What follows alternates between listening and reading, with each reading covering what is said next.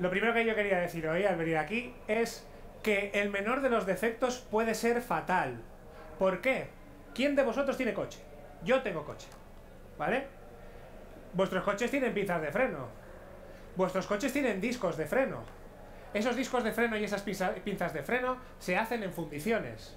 Y esas piezas son piezas críticas para el, coche. ¿Qué sucede? Si eso falla, vuestro coche puede que no frene. Y el resultado final, ¿cuál va a ser? Nadie lo quiere saber. Vale, entonces, esta charla trata de cómo podemos conseguir eliminar todos esos problemas en nuestro proceso productivo, en nuestra fundición. Hablaremos sobre un proceso de fundición en arena verde, que haré por gravedad, y que haremos para fundiciones de, de hierro grafítico nodulares. ¿Cómo vamos a solucionar este problema? nosotros en nuestro, en nuestro, en nuestro sistema. Lo vamos a hacer lógicamente con gemelos virtuales. ¿Vale? Porque es lo que hemos venido a hablar en, esta, en estos cursos. Pero lo primero de todo y lo más importante es que tenemos que saber y conocer nuestro proceso productivo. ¿Por qué? Justo en la ponencia anterior estaban hablando de modelos basados en datos y modelos no basados en datos. Nosotros hacemos modelos basados en datos. ¿Por qué? Porque nosotros creemos que un proceso productivo que siempre se mantiene bastante estable, ¿vale? Con sus variaciones, pero que siempre queremos conseguir el mismo resultado y queremos conseguir que la pieza sea correcta, salga bien, tenga una serie de características, etcétera, etcétera, nos permite que podamos trabajar con esos datos para extraer cómo es el comportamiento de ese, de ese proceso productivo. Entonces nosotros hablamos de la fundición. La fundición tenemos una parte muy importante que es la parte de generación del metal, el caldo, la magia, es donde juntamos ahí toda la chatarra, juntamos todos los metales, juntamos unos polvos mágicos que hacen que nuestro metal sea lo que tiene que ser para nuestras piezas. ¿Vale? ¿Qué sucede ahí? Un montón de variables, un montón de variaciones que pueden hacer que nuestro proceso se vaya eh, de varetas y no funcione como nosotros queremos. Segunda parte muy importante es el proceso de moldeado. En ese momento es donde el metal que hemos generado en la etapa anterior se unifica con nuestro molde, en este caso de arena, que tiene una serie de características que además se le introduce el metal con un proceso X en una temporización Y y que además tiene unas temperaturas, cosas que afectan al resultado final de lo que estamos produciendo. Y finalmente tenemos todo el proceso de enfriamiento y lavado de esas piezas. El proceso de enfriamiento es el más interesante de todos, ¿por qué? Porque es donde se producen todos los fallos. Todo lo que hemos hecho en las dos etapas anteriores más el enfriamiento que tienen esas piezas puede hacer que nuestro pinza de freno, cuando nosotros pisemos nuestro pedal, se rompa. Y es lo que no queremos. Vale, entonces lo primero que tenemos que hacer es conocer muy bien el proceso. Y por eso en Asterland lo importante es que aparte de hacer eh, cosas, como dicen nuestros compañeros, de frikis, con ordenadores y ese tipo de cosas, la gente sabe del proceso. Entonces creemos que es una buena unión, una buena conjunción entre una cosa y la otra. Lo segundo, nosotros ahora ya estamos proponiendo un tipo de funcionamiento diferente. Está muy bien, todo basado por datos, está muy bien hacer modelos, simulaciones, pero tiene que ser todo nosotros proponemos una economía del conocimiento. Nosotros necesitamos el conocimiento de múltiples partes, múltiples lugares de nuestra fundición, que todas trabajando conjuntamente nos permitan generar aquello que necesitamos para que generemos el sistema que va a hacer la predicción, simulación y todo en tiempo real para evitar nuestros, nuestros defectos. ¿Vale? Ahí hacemos un pequeño esquema de cómo queremos conseguir ese componente perfecto y cómo los diferentes puntos del proceso, con sus diferentes softwares o con sus diferentes formas de lectura, de predicción, de simulación, etcétera, etcétera, nos permite llegar a conseguir el resultado final que queremos, el componente perfecto. ¿Vale? Entonces es importante. Y lógicamente lo tercero es, una vez sabemos cómo es el proceso y cómo afecta a todo, lo segundo, tenemos cómo es nuestra arquitectura, de, cómo va a trabajar, cómo van a interconectarse unas partes con otras. Lo tercero es ya generar nuestro gemelo digital, que es el que va a estar monitorizando en tiempo real qué es lo que sucede en nuestra planta. Que sepáis, nuestro proceso productivo genera alrededor de, por ejemplo, 4 a 6 pinzas de frenos cada 8 segundos se producen. Se enfrían en unos 45 minutos, que ahí ya no podemos hacer nada, porque está enfriándose, y al resultado, después de limpiarlas, tenemos nuestras pinzas de freno. Por lo tanto, es un proceso masivo que genera muchas piezas, y tenemos que estar atentos de todo lo que sucede en todo momento. Entonces nosotros proponemos esta arquitectura, ¿vale? Es una arquitectura que tiene la parte del Internet de las cosas, esa parte inferior, esa parte que tiene todas las capturas de datos, todos los sensores que están dentro de la planta, de las propias máquinas donde extraemos los PLCs, no solo eso, sino también el ERP de la planta, donde se están gestionando cuáles las peticiones que hay ahora, cuáles son las piezas que se producen, cuándo tienen que entregarse, etcétera, etcétera. Y luego tenemos la parte también de los actuadores, pues nosotros podemos actuar sobre las máquinas, podemos pararlas, podemos modificar sus, sus parametrizaciones, etcétera, etcétera. Entonces, ese sería el Internet de las cosas de nuestra arquitectura. La zona central es la zona de comunicación, es una zona de comunicación que nos tiene que permitir comunicar todos los datos en tiempo real. Tiene que llegar a todos los puntos de la planta en el mismo instante y de una forma que consiga que todos los puntos o todos los actuadores o sensores estén informados a la vez. Nosotros hablamos de un sistema de distribución de datos en tiempo real, luego comentaré un poquito, y además con la idea de generar más información de forma automática mientras se distribuye por nuestra planta, contamos también con un sistema de procesado complejo de eventos. Él fusiona los datos, los datos generan información, la información la analizamos nosotros y generamos conocimiento que va a la parte del Internet de los servicios. Ahí es donde tenemos una serie de servicios que se dedican a hacer las predicciones de lo que está sucediendo, se dedican a hacer los solvers para ver cómo modificar nuestro proceso productivo y solucionar eh, qué es lo que está pasando en, en nuestra producción y además tenemos que tener también el sistema de aprendizaje que va readaptando esos modelos cada cierto tiempo. Almacenamientos y otra vez sistema de comunicación. Entonces, este es esto es lo que nosotros proponemos como el sistema general de nuestro gemelo virtual nuestra estrategia desde Asterland, ¿vale? Esto es cómo funcionamos y cómo hacemos todos los proyectos que están relacionados con Industria 4.0 y sobre todo por hacer este tipo de simulaciones. Nosotros tenemos claro que es muy importante los datos. También tenemos claro que si los datos, si no hay una captura, no sabemos qué está pasando ahora mismo en nuestra planta, qué es lo que está introduciendo el operario, cómo está produciendo la máquina, qué velocidad, qué precisión, todo eso lo necesitamos. Necesitamos la captura de datos. Pero claro, ahora mucha gente tiene miedo, dice, es que no sé cómo, eh, si pues, conocéis el mundo de la fundición, pero mm, en general muchas plantas guardan todo en papeles, guardan todo en un Excel, mm, bueno, al menos está digitalizado. O sea, acceder a toda esa información rápidamente y en tiempo real es complicado. Entonces, muchos tienen miedo de dar este paso. Dice, hasta que no capture nada no voy a poder hacer nada dentro de mi proceso. No, primero visualizaremos tus datos. Ya solo podrás tener tu toma de decisiones eh, como persona mirando lo que sucede. Pero según vamos creciendo en esa captura, vamos a entrar en una parte de análisis de datos. Esa parte en la que vosotros vais a ser capaces de determinar cuáles son los mejores parámetros en mi producción basándoos en vuestra propia información generada. Y finalmente, cuando ya hemos cubierto todas las capas, entramos en esa parte de vamos a poner ya modelos predictivos y hacer que esto esté funcionando en tiempo real en cada momento. Entonces es importante cada empresa es un mundo. Nosotros siempre hacemos el principio de individualización de la empresa. vamos a partir desde el punto en la que ella puede y vamos a llegar hasta el punto en el que se pueda llegar.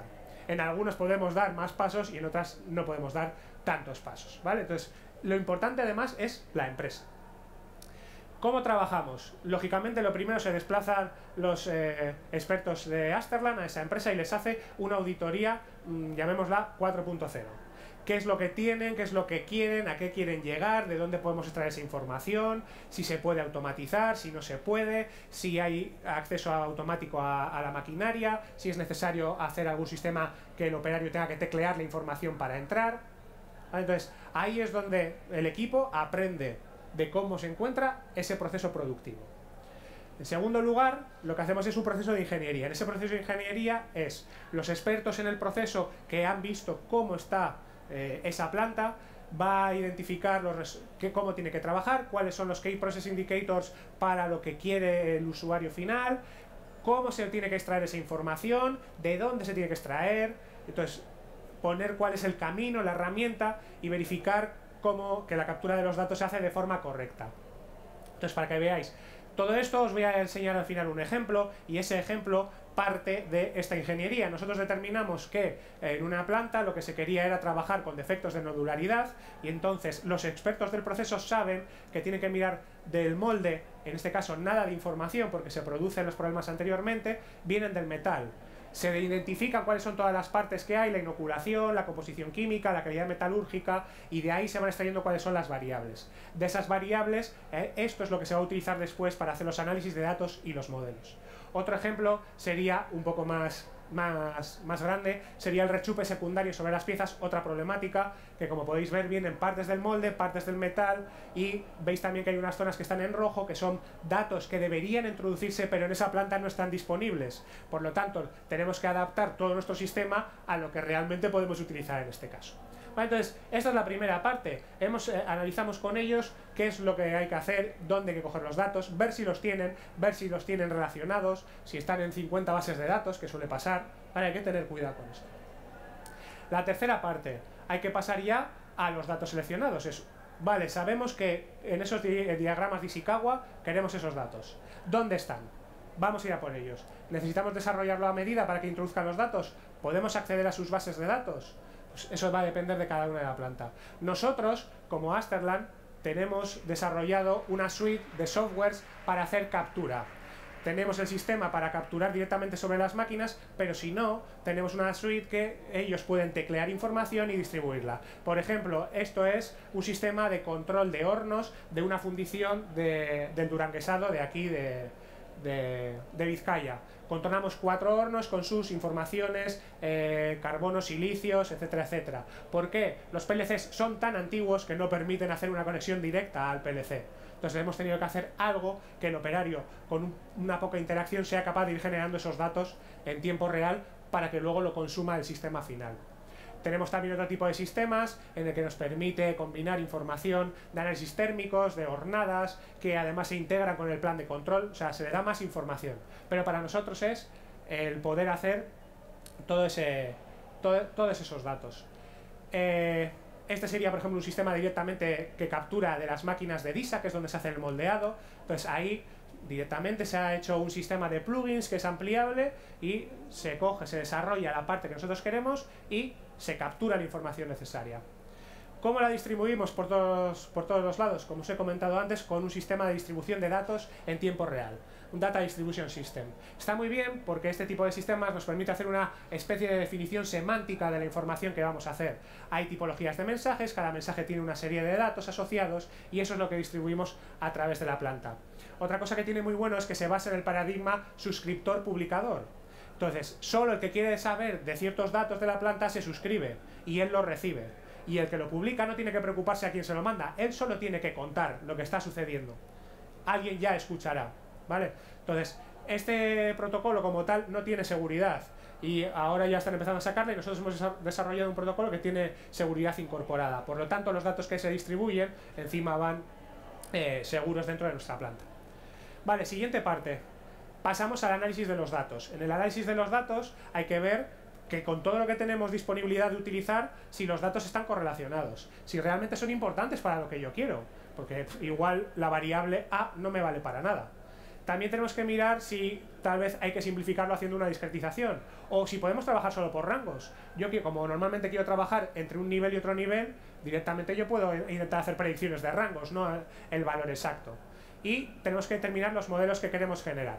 ¿Cómo lo hacemos? Nosotros hemos desarrollado nuestra propia herramienta y los datos que vienen de la planta los introducimos en nuestra herramienta que se llama Salomon y ahí podemos empezar a discretizar los datos, ver la importancia de las variables eh, basada en su ganancia de información, determinar, bueno aquí podéis ver un ejemplo de cómo es la ganancia de información y podemos determinar también con diferentes modelos gráficos y no gráficos, por ejemplo en este caso una red bayesiana, eh, cómo modificando los parámetros de la planta vemos el resultado final en esos rangos donde se estaría moviendo. Incluso hacer también un análisis sensitivo hacia atrás y ver cómo podríamos trabajar con ello, ¿vale?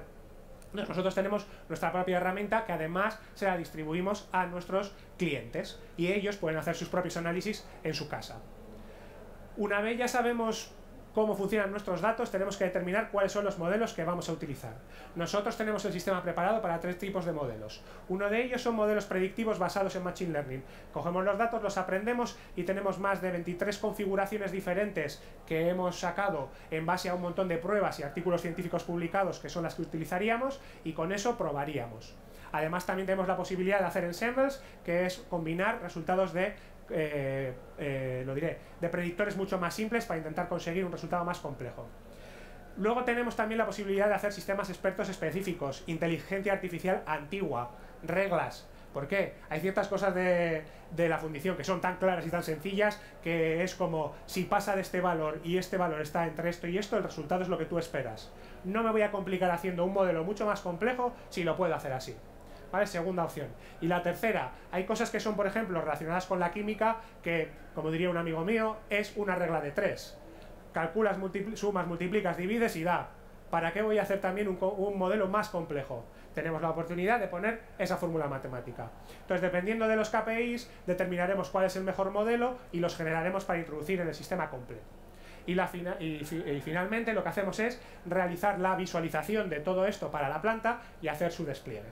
Entonces, parafraseando a Walt Disney, todos tus sueños se pueden hacer realidad si tienes el coraje de perseguirlos. Y eso hemos hecho nosotros. ¿vale? Entonces os voy a poner un ejemplo del sistema más avanzado que tenemos a día de hoy en una planta funcionando para la monitorización a tiempo real. Se llama Olimpo y está desarrollado en una fundición en Portugal.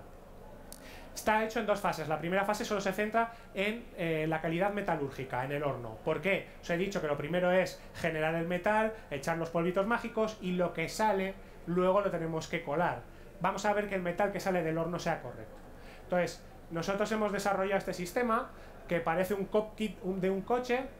Eh, eso soy yo cuando era más joven y no era padre y somos capaces de controlar diferentes líneas, estamos monitorizando lo que va sucediendo y ahí vamos viendo eh, las diferentes KPIs que se han determinado. En todo momento sabemos a qué cliente se está produciendo, cuál es la pieza que tenemos, sabemos la nodularidad, sanidad, matriz, dureza, carburos del metal que se está generando y esto, eh, y aparte en la, en la zona central tenemos un histórico de dos horas de producción ¿Por qué? El problema también es que aquí no se generan todos los datos en tiempo real.